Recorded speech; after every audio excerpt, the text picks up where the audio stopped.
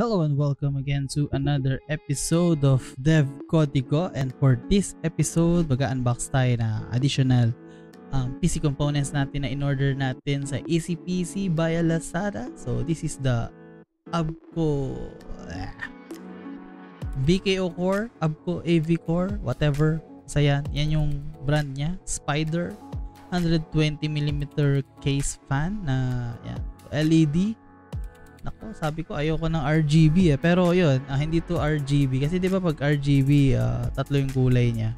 So ito parang LED lang. Uh, green yung in-order natin. So may, may, may konting motif tayo sa uh, medyo rebuild. So hindi siya no new build. Medyo magre-rebuild tayo ng uh, system unit natin. So watch out for that video. So quick unboxing lang tayo nito.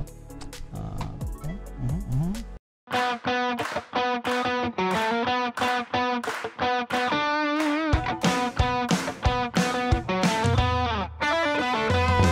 Ko may presyo dito. Lalagyan ka na siguro sa description yung price nito. So, 120mm na LED fan. Let's open up. So, may nakikita akong Molex connector. Agad, agad. Ayan. So, yan ang kanyang way para ma-power siya. Uh, typical naman yun sa case fan, Molex. Okay, so ang daming screw. Ano to? Hindi ko alam to. Comment down below kung alam nyo to. Hindi ko alam yan. Okay. Meron siyang padding para pag uh, shinip siya, hindi siya masira, mawasak yung kanya. So,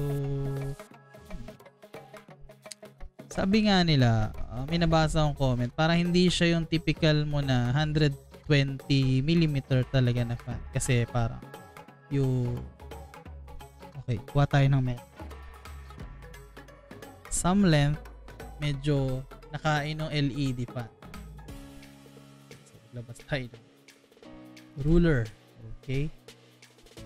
So about 1 cm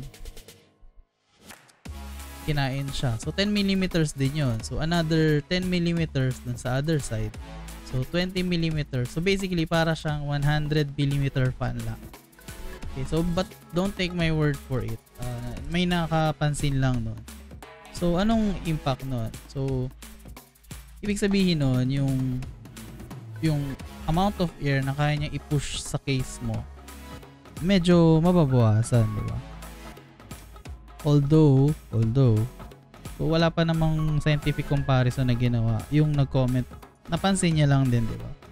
Uh, although, uh, pwede siyang bumawi sa bilis, sa fan speed, di ba?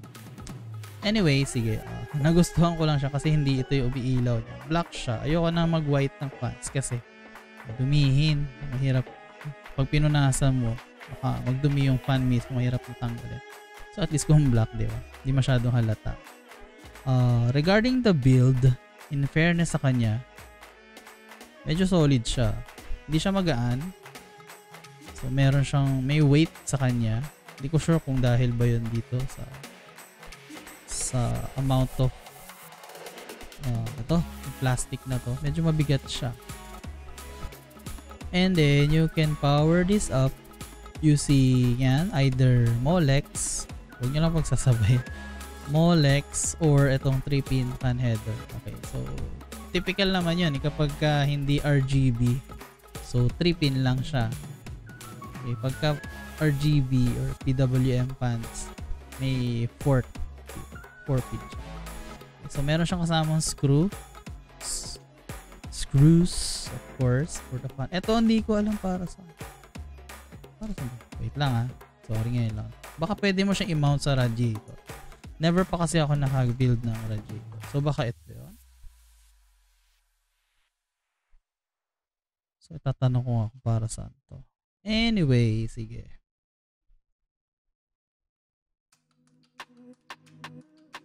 Hmm.